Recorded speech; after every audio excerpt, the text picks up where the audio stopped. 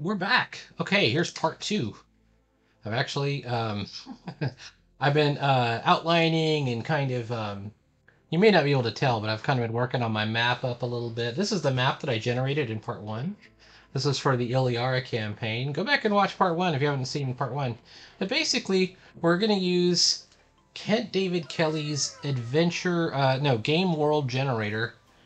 And we're building up my Iliara campaign, which is a Tunnels and Trolls epic campaign um, that I'm doing. I've gotten really inspired by reading Hawk and Moore and um, doing all kinds of things with it. I have a feeling, I mean, I know it's November, so it's kind of like NaNoWriMo, but this is like um, uh, National uh, Fantasy Campaign Workshop month or something. Or, you know, who knows? Maybe I can make a game world that I start uh, setting some stories into. It's always been a dream of mine. And, uh, you know, it's kind of funny about bucket lists. One of my bucket list things was to publish comic books, and I started doing that. So um, it gives me a lot of confidence that I can do the same thing with uh, maybe writing or, at the very least, put, doing this very fun campaign world. And I'm going to make, regardless, I'm going to make this epic map. I've uh, I built this during the last stream that you saw. All right, let's get into it. All right, well, first off, if you're not familiar, um, Kent David Kelly is this dude who has uh, built all kinds of really interesting um, design books uh, that are inspired very much by Appendix A in the um, first edition AD&D um, Dungeon Master's Guide. And Appendix A was a generator for generating solo dungeons based on the work of a guy named I think his name is Gary Lord, and I believe he even credited him somewhere down here. Um, and uh, let's see. It's probably in there somewhere. But uh, yeah, Gary Lord was the guy who submitted those those ideas originally to Gygax and he called it Dungeon Solitaire.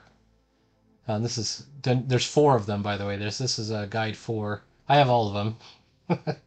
um, luckily enough, you know um, they they appear in bundles from time to time. So I've gotten like I think two bundles from Mr. Kelly, um, and I'm a huge fan of his. But the thing that I'm working on right now is this. This is the I don't know if you can see it. This is the, uh, whoops, what are we on, page 47? This is the game world generator. And if you look down at my map down here, and hopefully it's uh, recording, let me just check really quick. Um, you can see that I have a map. Okay, now I've gotten to this point where I think if I roughed out the civilized regions, I've done that. Um, let me take a look at what this is. i have I've, I've forgotten what this is. Here is an example of my Northwestern Sector's RSS. What is RSS? Wilderness Classification. I don't think I'm there yet. I think I'm over here. I'm out. Oh, yeah. Okay. I remember where I was. I'm at the regional summary sheet, and I've already filled in Wild Civilized for everything here. Let me get the old notebook out. We're doing this kind of the old-fashioned way. I have terrain listed for each one of these things. And I've just got to figure out, let me get my pencil, I was sharpened. What does he need you to do? You make the wilderness or civilized code, which I've done for each one of my regions. And if you look down at my regions, you can see uh, like each region has a, um, a number, right? And then you then want to include some interesting isolated kingdoms surrounded by wilderness, a few bottleneck areas. I've already figured that all out. It says, I've designated mountainous areas as terrain mountains, but I've not yet determined a predominant area of other terrains. Oh, okay, so each one has a predominant terrain. Okay, so let's take a look. Let's take a look um, at what we got. Mine starts up here. It is mostly mountains and forests. Now, I wonder if he, um, does he mean it's all mountains? And which ones are islands? So there's some islands down here as well. We'll call those islands. I'm going to say that this one has... Okay, predominant terrain. This is what we're trying to figure out. You can just give each wilderness region on the map a code as follows. Um, and you can just make all kinds of stuff. Desert, poisonous land, salt flats, you know, whatever you want. Um, it just means that around 50% of that region's terrain is of that single terrain. Give each region a single predominant terrain type. I was wondering if you had to do all of them. Okay, so now we can figure this out. So starting with one, uh, it's actually mostly forest. So number two, mostly swamp. Number three, forest. Number four, where's number four? Four is up here. It's this region that goes over to here. It's about half swamp, half plains. I'm going to call this one plains. Now it's in the cold to subtropical, so it's it's yeah, it's cold plains. Five. Oh, it's kind of a split. I've got a couple of mountains down here. I got a forest. Um, oh, it's swamp. Easy enough. Or marsh. Six is uh, mostly hills. Seven, desert. Desert and mountains. Now, I'm putting them both in here even though he said not to do that, because I don't really know what it's for yet. This one's definitely desert. That's the high desert. What's like the tundra? Um, you know, it's kind of funny. He doesn't have it on his list here. He says wasteland, which includes desert under. Okay, maybe I should call that wasteland from now on. Nine is forest, for sure. 10 is it's mostly mountains. 11 is mostly forest. 12, I'm going to call that plains. 13 forest and plains. 14. 14 is this whole region here. It's got some hills, but I think it's mostly plains. 15. Mountains for sure.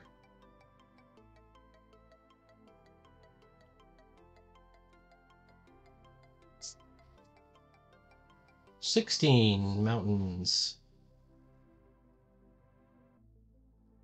Seventeen 17 down here is definitely forest. 18. It's this tiny kingdom and its plains. 19. Surrounded on all sides, by the way. Where would we put 19? 19 is up here. And it looks like it's mostly plains, actually. 20. That's kind of dominated by a lake, but it's actually forest. 21. Where did I put 21? 21's up here, forest. I got a lot of forests in this world. Definitely forest. 23. 23 is this kind of sliver of land up here. It's mostly plains. 24. It's the fertile plain, by the way. It's right alongside of the uh, of the bay. 24. Right over here. It's actually this sliver here. No, it includes this area here. It's swamp. Or marsh. I'm going to put marsh instead of swamp this time. 25. Swamp. Or marshlands. 26. Swamp. 27. Swamp. 28. it's almost all forest and it's a little secluded area. That might be our Elven Kingdom right there. 29 is forest. 30. 30 is forest and it's an island. But I'm going to put island. Alright. I've got about seven more, so 31 islands. 32. I think 32 is islands.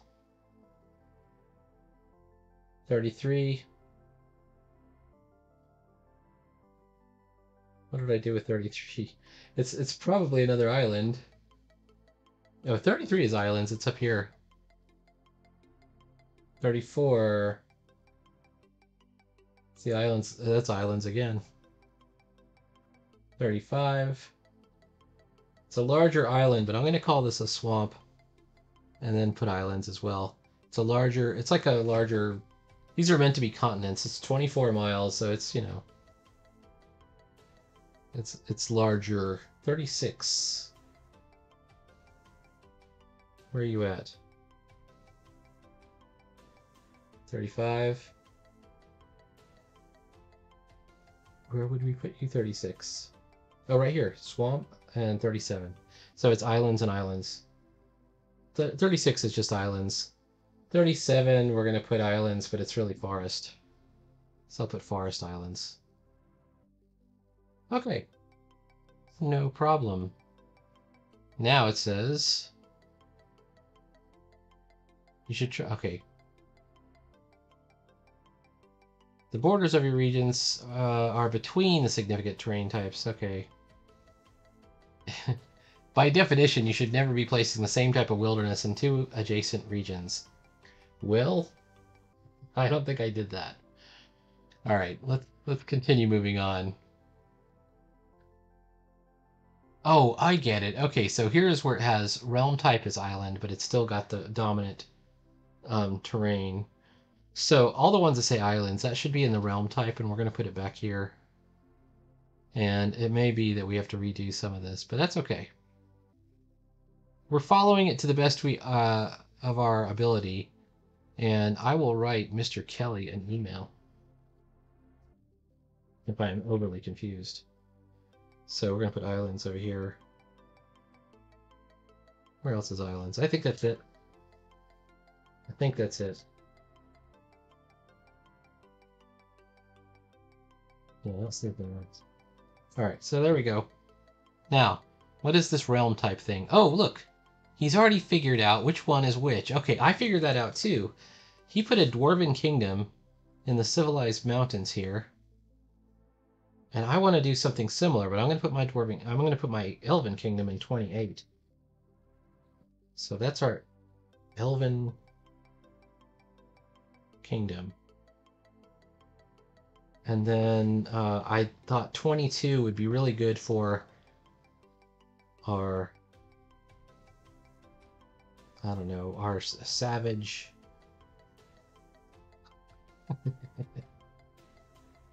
uh, forest. Uruk Kingdom. Uh, do the orcs live in the forest? You know what? We're gonna call that a different. We're gonna call that a. Uh, let's just leave it for right now. Let's just leave that for right now. Now my world is gonna have dwarves in it, but I don't like either of the dwarves in Tunnels and Trolls. They basically have two kinds. One of the kind is uh, a divine form of dwarf that was hewn from stone and they you know they emerge fully grown and they're they're magical creatures. So we're not going to use those dwarves. Those are the Gristlegrim dwarves. And then they have the midgard dwarves that literally come from asgard. So i'm not going to use those dwarves either. I think i'm going to use a tolkien style dwarf. Um, and i think i would like to place them in 16 um, which is going to be our, our dwarven kingdom. Because it is civilized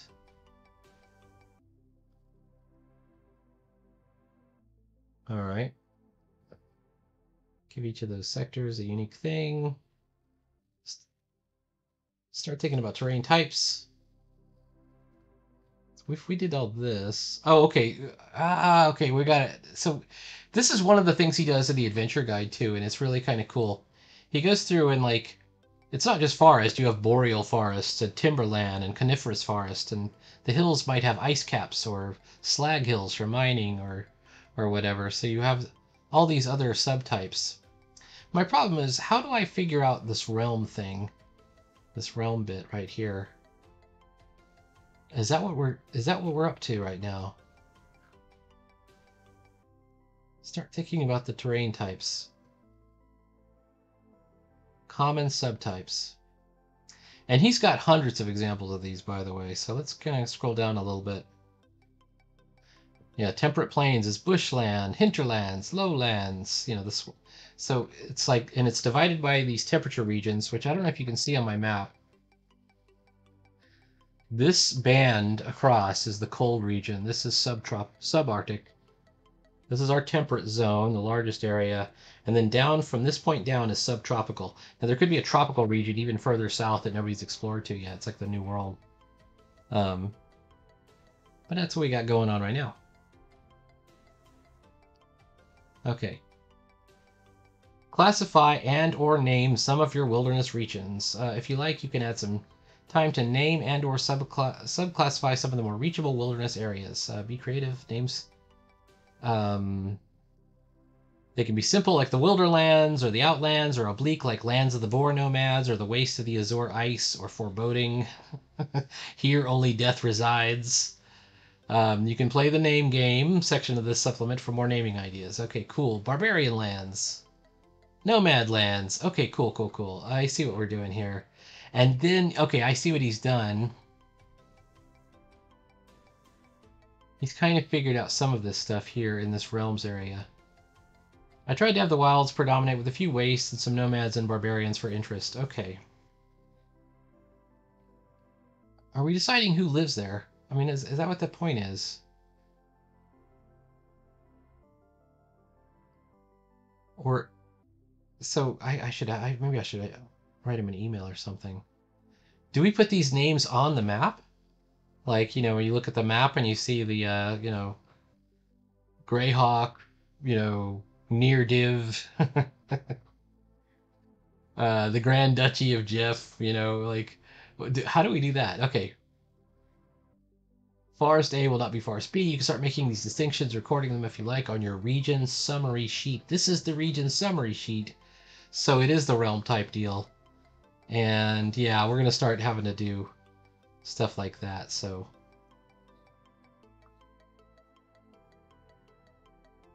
Okay. Or Blackmoor, or Greyhawk. So, do I go through and do the whole list? That's the next question. Let's take a look at his example one more time, which is a little bit further down. It's like he had barbarians and nomads kind of mapped out on there on his.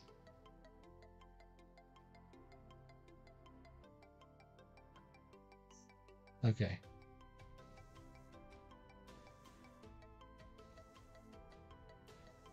Classify and or name some of your wilderness regions. If you like, you can also take some time to name and or subclassify some of the more reachable wilderness areas.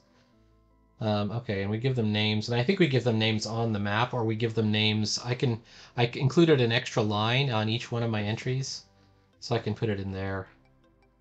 Eventually, want to do this map like I'm going to do it like in with ink, calligraphy, dar, you know, Darlene Pekul style.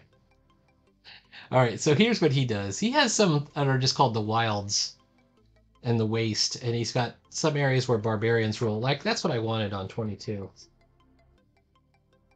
Savage humanoids.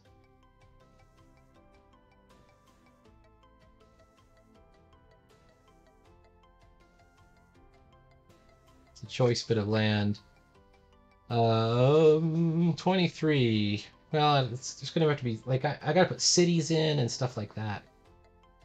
Um, if I put islands, he puts them in parentheses for some reason.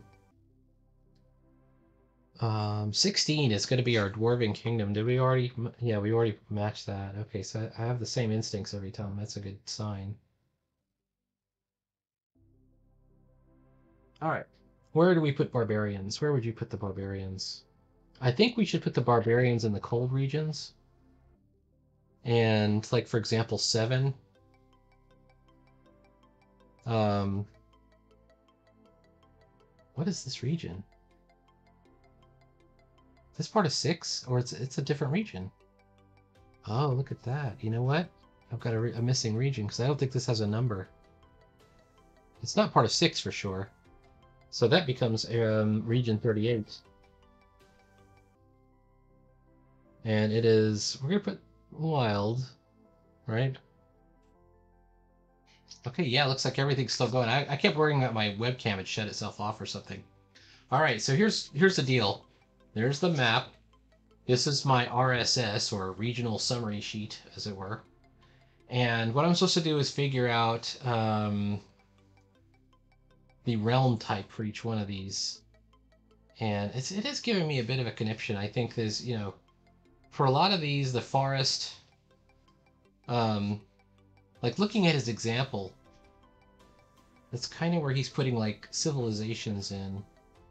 And I want to, I think I want to look a little bit further down in the procedure. So rough out the civilized regions is the next bit. Um, and he says, uh, now that your world's wilderness has been fully roughed out, haha, no, mine hasn't, it's time to give you the same treatment for the civilized regions or realms of your milieu. Uh, so I, here's my civilized realms, and I've got a couple. So I think what I'm trying to figure out is, is it a waste or is it a wild? Like, I'm not sure what the difference is. I'm looking at this thing here.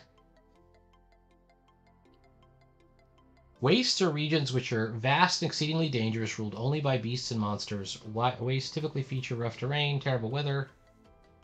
Unlike wilds, they may be near civilized regions, but the regions are unclaimed is because the resources are impossible to cultivate. Nobody wants them. Oh, okay, no problem. We can figure some of that stuff out. So let's take a look, starting at the very beginning of one, which I believe is this island up here. Uh, it's definitely a wild. And it's, we're talking about the islands up here in the corner. Um, two is a wild, three is a wild. That's because they're on these unclaimed islands. Four. Where's four? Oh, four is up here. That's a waste right there. Um, it's too cold. It's like cold plains. So, well, is it? Deserts of ash, icy flats. Ah, maybe that's a wild. It's not civilized. Uh, five is civilized, so we skip it. Six is civilized, so we skip it. Seven is wild. And we're going to call that one Desert Mountains. We're going to call that a waste. That has the desert bit in there, or the tundra. Eight is also a waste. It's mostly tundra. And then we skip all the way down to number 15, which is over here. Is our Dwarven Kingdom. It's not wild, it's civilized.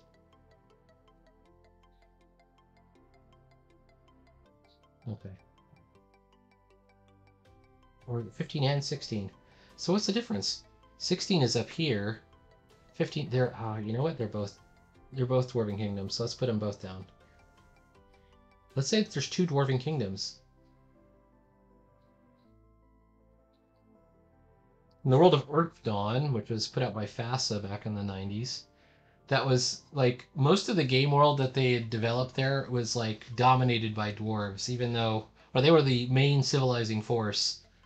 Um, even though, you know, like all fantasy role playing games, hum- it's a human centric game. Um, 17, they just, I guess the posit is that um, dwarves were just more civilized and advanced than all the others. Um, okay, 17. I've lost track of where I am. 15, 16. It's not up here. 19, 17 is down here. And for 17, they have it as a forest. I'm going to definitely say that that's a wild. There's looks like some great areas that could be settled. 18 is civilized, civilized, civilized, all the way down to 24 which is a waste. It's got a marsh dominating it, and it's really difficult to get to. 25, same deal. 26, same deal. 27, same deal. 29. Where's 29? 29. This is a wild. There's a lot of good stuff over there. Forest. I'm going to write civilized on 28 here. Now, suffice to say, I don't really 100% know what I'm doing. I'm following this procedure and I'm doing okay. But, um, you know, it's, it's not easy. This is definitely a wild for 35. And 37 is a wild as well. 30, oh, no, no, no, no, no. 37 is that new region that we just discovered. No, that's 38. 37 is this one right here. That's 37. It looks like I'm writing 32. That's 37. And that's a, a wild. Okay, what is the next step? All the civilized ones are open. I'm looking at the uh, example over here. Okay. Rough out the civilized regions. Okay, it's time to give the civilized regions a deal. A typical old school fantasy world will consist of a chaotic plenitude of kingdoms, duchies, splinter states, invading empires, collapsing marches, and barbarian horde lands. This is not only in keeping with pulp fantasy tradition, it's also a fair reflection of the European Dark Ages and the medieval period taken as a whole. Although, we're not trying to be medieval, as much as I like that period. Um, so let's Let's take a look. Uh, okay, he's giving us examples here of suggested cultural themes for realms. And his, his suggestions, let me show, show you this bit because it's actually kind of cool. Okay, take a look. This is how we're going to be messing around with our, our civilized areas. Now, do I have this? This whole page is wild. So there's no stabilized areas. But I have this cluster of kingdoms, and they all kind of surround this central uh, inland sea, and with the exception of the two dwarven kingdoms, I'm putting at 15 and 16, and I am going to put um, actually I'm gonna I'm gonna put the uh, dividing line right there. So these are our two dwarven kingdoms. So maybe the two dwarven kingdoms are are there. But anyways, he has this idea like ancient Egyptian, ancient Mesopotamian, uh, ancient Phoenician, classical Africa. He's got uh, classical Carthaginian, which I like that idea with uh, republics and war elephants and heavy warships. Classical Asian, classical Greek. You got me. I'm right there. Like Greek, the Greek civilization is what I want to do. I'm going to call the Machaeans. Um, Let's, so let's go back to the, the very front of our list. And let's decide what each of these uh, civilized areas is and who civilized them. The first one is Area 5. And if you look at it, it's this kingdom right up here. It's in the subarctic region, so it's cold. Uh, I don't think it could be, could be, classical Greek. I think I want to put the Greeks uh, a little bit further south.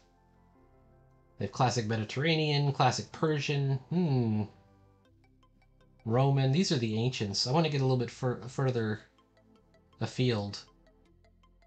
They have folkloric English, which is Arthurian, and then they have folkloric German. Oh, I like both of those. So, Fairy Tale Kingdom. Oh, they have folkloric French as well. That might be fun. What else? Let's before we lose it. Alright.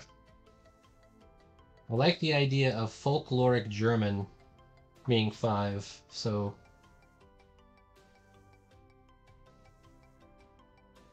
And I'll have to come out with a kingdom name for what that is. Then that number six is also right there, and I think I want to do something similar. They have Lost World. Oh, this is so cool. Ah, medieval medieval Indian, medieval Irish. What's what would be cold? Medieval Russian. Which is like our Baba Yaga, Koschei the Deathless, Liches, Firebirds. Yeah, yeah, yeah. I like that. Medieval Russian. I'm down. Alright, let's take a look at region number 9. Over here, far to the east. It is in the subarctic region where it's getting cold. Um, there's no reason why we can't do the same region twice over and have like Russian and another Russian, just like we're having dwarves and more dwarves. Um, but uh, I might do medieval Scottish.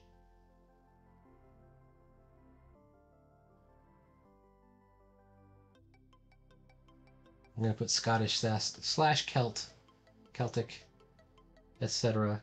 Number 10 is uh, Civilized Mountains. This is a, a kingdom down here.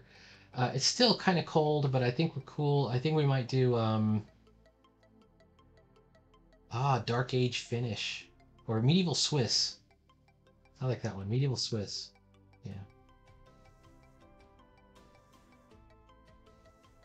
And you know, it's not we're not actually going to put the Swiss there. We're going to generate, we're going to create a new culture and we're going to style it after that is what we're going to do for each one of these. So the next one, 11, is Civilized Forest, and 11 is down here. And here's our um, medieval England right here. Or our second medieval England.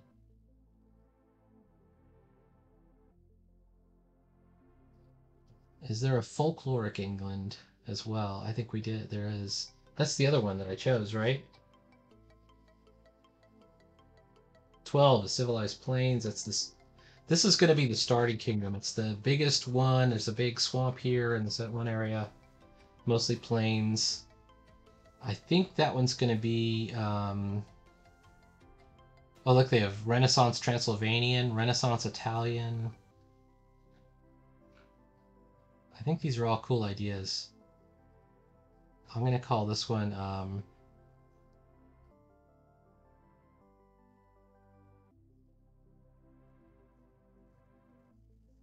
How about folk fairy tale folkloric English again? Folkloric English. Those are Arthurians. All right, number 13 is Civilized Forest. Where's number 13? 11, 12, 13. Oh, this is this pivotal state right here in the back. And I have it as civilized. It's mostly forest. We can do something weird with this one. They're in the temperate zone. Um, let's do something wild with this guy. Uh, we have Lost World Prehistoric. It's not isolated enough to make it prehistoric, although it is kind of a cool idea. Um,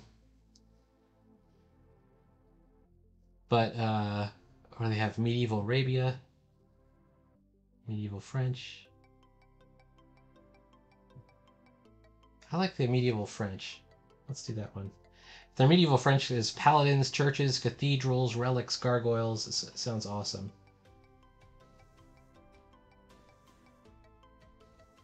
This gives us like clues about who we're going to name people after, you know, how we're going to develop the costumes, the, you know, all the, the cultures, all that other stuff. All right, I got more. 18. 18 is, if you look at my map, 18 is oh this is our hidden kingdom this is something we can do something weird with it's it is plains and it's civilized but we could give it something uh something special something different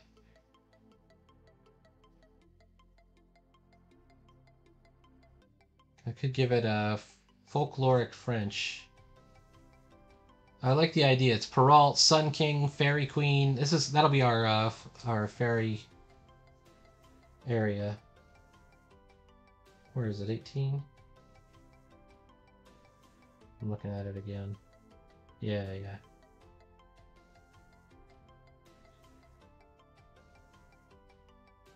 Nineteen. Nineteen is an isolated plains area um, I'm going to call that one.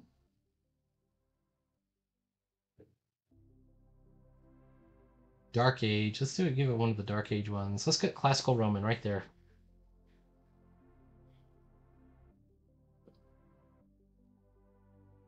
Roman, and then 20. Where's area 20? 20! I like it. So that's going to be our Mythic Greece, or uh, Classical Greek. Yeah.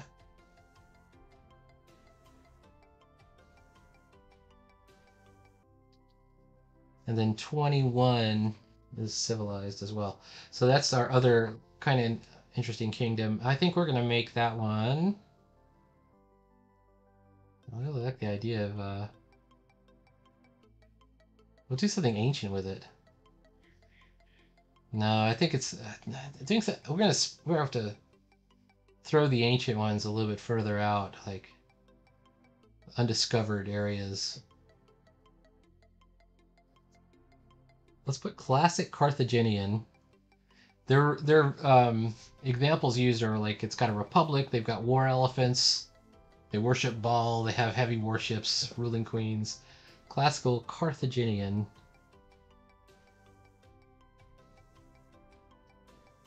And our last one is 23. Um, there's 22, 23. It's this kind of the sliver of land down here. We could do something interesting with that. Let's go a little bit exotic this time. We could do Persian.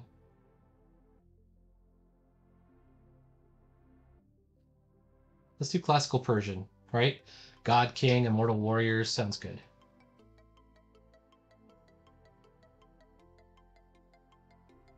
All right. Now, did we hit them all?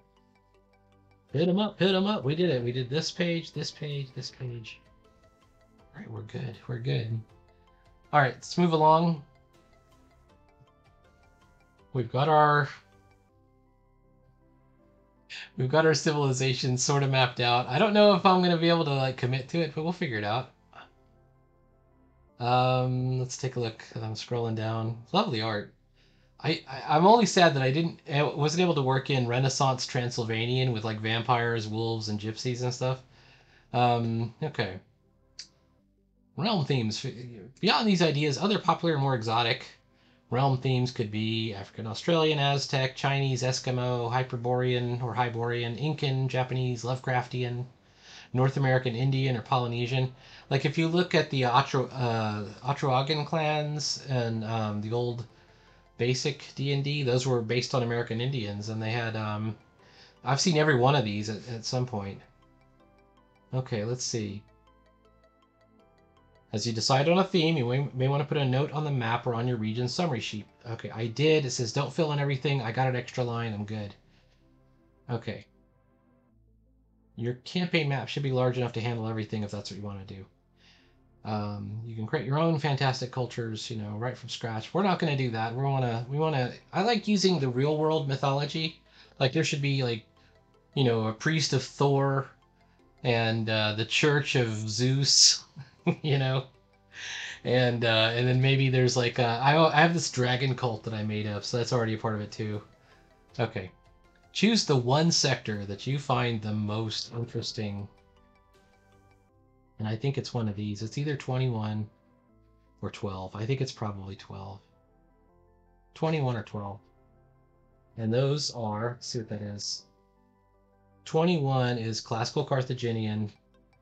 12 is folkloric in England. Let's do 12. Let's do 12. All right, we're gonna we're gonna turn the page. And it's to be close to a river. It is. It's close to a, uh, the inland sea. It's like bordering right on it. Um, thinking about that starting here, we're getting much closer to playtime in the first adventure. oh man, I, you're rushing me. um, set all of your world maps and notes aside. These bare sketches will be developed later on. Your world sketch is ready. Really? Okay, now we got to develop each realm. Okay, oh, there's 30 questions to when the game begins. They've listed all 30 questions. Let's go over them. So each character, you have to decide what and where is our homeland, and we now have a list, right? We can even choose what is our homeland's climate. We have a list. We can figure that out. What is our homeland's predominant terrain? What other terrain types are nearby? Who is our homeland's ruler? I can figure that out. What is our homeland's culture? I have a list. Uh, homeland's predominant alignment. Well, Tunnels and Trolls doesn't use alignment, but I think we can basically um, I was thinking of kind of cobbling on the uh, general good, evil, law, and chaos. I think this is called the five point alignment system. You're probably familiar with law, chaos, neutrality, which is the OD&D, basic D&D kind, and then AD&D introduced the nine system, which is lawful good, lawful neutral, neutral good, chaotic good. You know, uh, no, it's lawful good, neutral good, chaotic good true neutral, lawful neutral, chaotic neutral, chaotic good, um, no, neutral evil, lawful evil, chaotic evil, right? So that's the nine point. The five point is a little bit simpler. So it has chaos and law, and it has neutrality, and it has good and evil. And you don't mix and match. You just say this which one of the five you're more or less aligned with. Maybe you could draw a little star and say I'm, I'm more or less down with that. So we might add that to our Tunnels and Trolls campaign. It's a, this is where we're getting to the you know to the point of homebrew. What did that? What did I just do? I don't know. Sorry, well, anyways. Let's go. Alright, it went away.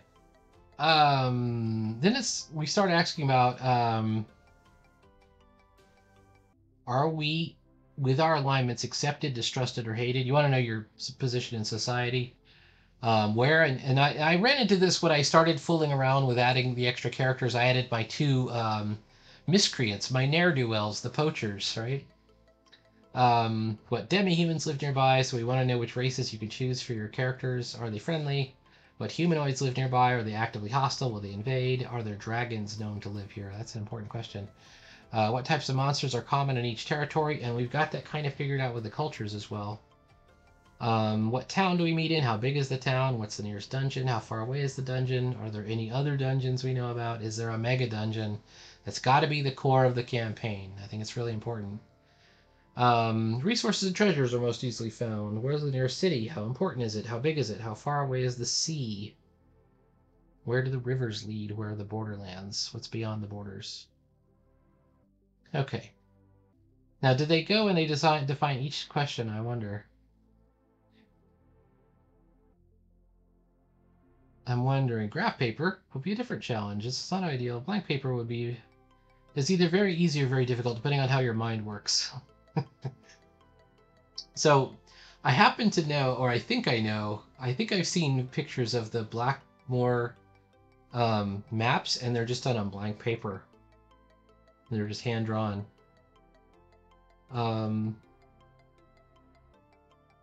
calculating the scale. And we've got to the point where we've, we've chosen the scale as 24 miles, drawing the starting area map. Okay, we're getting into maps two. Let's call this the end of part two. And tomorrow we'll get into part three. We're going to draw a starting area map um, that we can um, we can use for this campaign. All right. Okay. Talk to you later.